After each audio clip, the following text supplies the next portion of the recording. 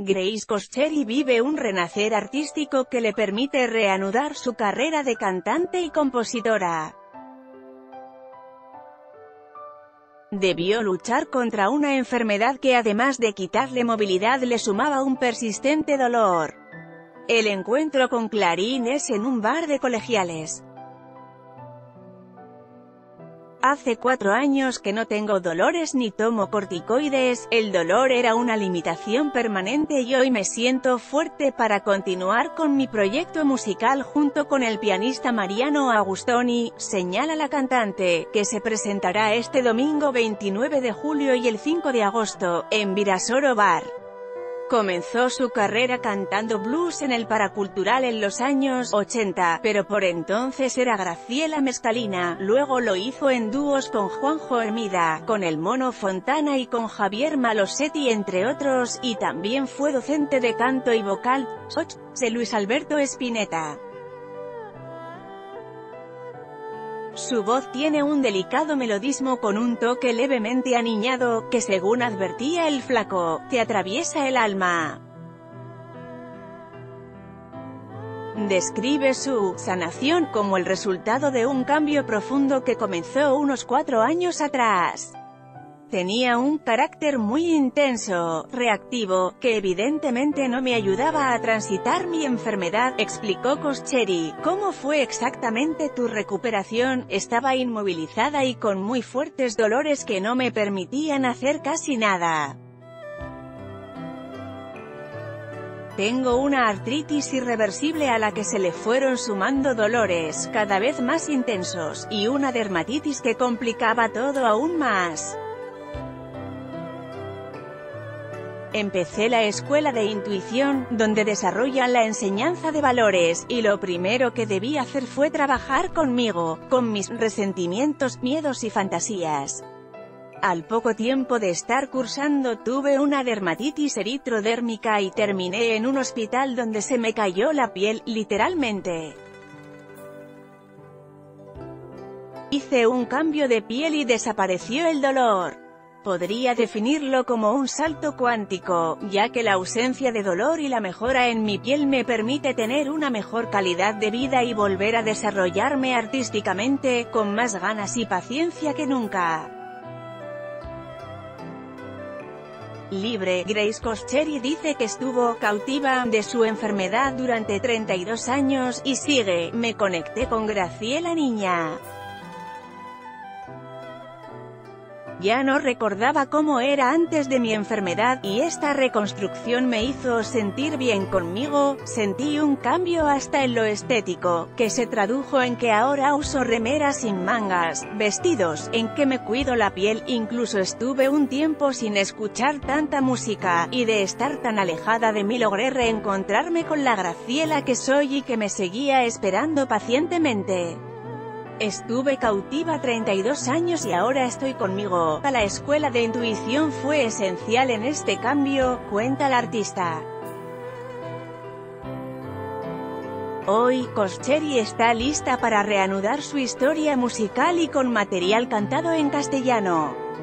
Luis siempre me pedía que cantara en mi idioma, él me puso un apodo por mi carácter, con el que nos reíamos mucho. Me llamaba Rosita Quiroga, la cantora de tango, la ñata gaucha, porque mi forma de hablar le sonaba a película argentina en blanco y negro. Y tenía razón, era algo bizarro, porque además, la ñata gaucha, era Azucena Maizani, pero no le importaba, no sé cómo supo ver eso en mí, me sacó la ficha. Y yo que me sentía súper moderna, una sophisticated lady. Pero cuando me enojaba mal hablaba como Rosita Quiroga. Canta en castellano decía el flaco, porque cuando vos decís las cosas atravesás las almas, recuerda Coscheri, aunque admite que no dejará de cantar estándares.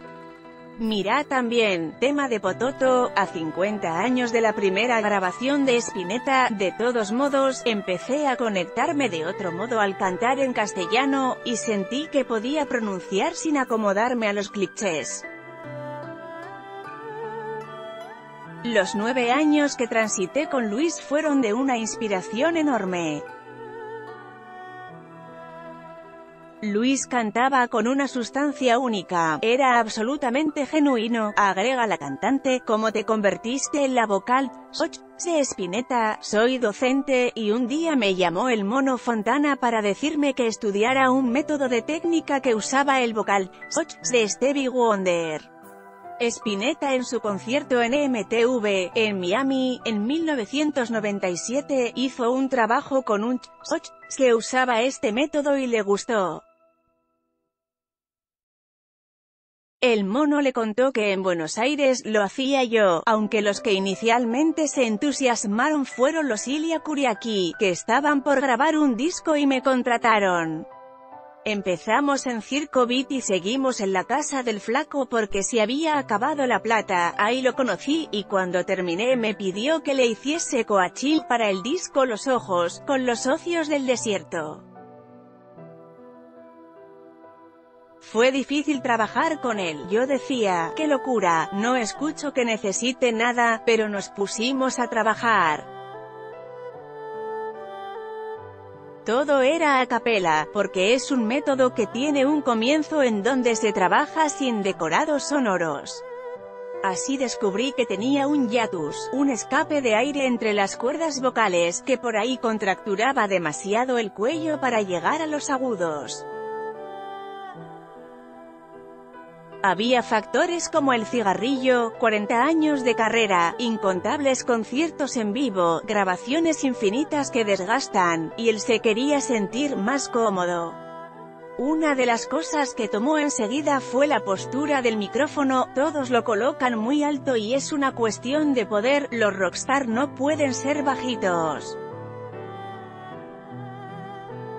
Le expliqué que tiene que estar a 45 grados, a la altura del pecho, porque los agudos se producen con el mentón levemente hacia abajo, y desde ese momento lo bajó para siempre. ¿Qué destacarías de tu vínculo con él? De alguna manera, nunca esperé que lograse que yo me abriera, y así salieron confesiones impensadas para mí. Coincidíamos en cómo ver el arte, recuerdo siempre una frase, los músicos, afinen o no, sean virtuosos o no, yo los amo porque hacen música. También tenía miedo de que una pelea nos alejase, de perderlo, un momento con él, ¿cuál sería? Sentada en las primeras filas cuando cantó en las bandas eternas, cinco horas en un noche fría de diciembre. Esa noche me acosté pensando todo tuvo sentido, era una felicidad compartida. Mira también rock argentino, por más Spinetta y menos Piti Álvarez hay un disco en camino, sí, lo estamos haciendo con Mariano Agustoni. Tenemos algunas bases listas, a las que todavía no le puse la voz, es un trabajo independiente, donde también está Nico Cota, un disco que transita la calma, una música saludable. De alguna manera sigue la línea de mi anterior trabajo, Conexiones porque no hay virtuosismos ni nada de eso. Creo que lo estaremos grabando en septiembre, y ya tenemos el nombre, Equalf como serán tus conciertos en Virasoro, una primera parte tendrá estándares poco transitados, con un swing bucólico en la forma que tenemos de interpretarlos, Agustoni es un gran acompañante.